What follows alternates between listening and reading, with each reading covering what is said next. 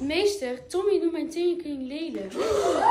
Pesten is zo niet meer van deze tijd. Maar echt. Ja, inderdaad. Ja, maar ik zei alleen dat het een lelijke tekening was. Dat is toch geen pesten? Jawel, want je beledigt hem door zijn tekening lelijk te noemen. Dat is inderdaad niet aardig. En zo krijg je nooit vier stippen. Maar dat wil ik ook. Die krijg je op één voorwaarde. Als je excuses aanbiedt en belooft nooit meer te pesten. Beloofd. En sorry, je tekening is eigenlijk heel creatief.